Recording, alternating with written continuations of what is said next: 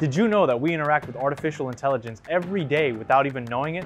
From face recognition to Siri to Alexa, AI is a part of our everyday lives. Let me tell you more. AI is the science and engineering of getting machines to perform tasks that would usually require human intelligence. And did you know there are at least four types of AI? Let me show you. Expert systems are one of the earliest types of AI, which mimics human experts using hand-coded rules. An example of such an approach is IBM's Deep Blue machine, which beat chess grandmaster Garry Kasparov in 1997. Machine learning systems automatically extract patterns from large amounts of data to create self-driving cars or facial recognition technologies. Third wave or cognitive AIs are just around the corner and will be capable of independently acquiring new knowledge.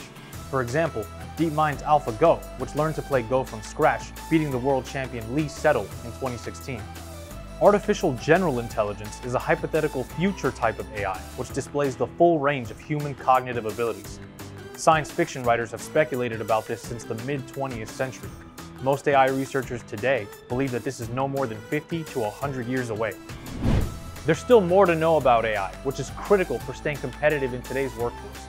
You can get your AI badge for your online credentials and show employers you got what it takes. Get yours at criticalskills.fiu.edu.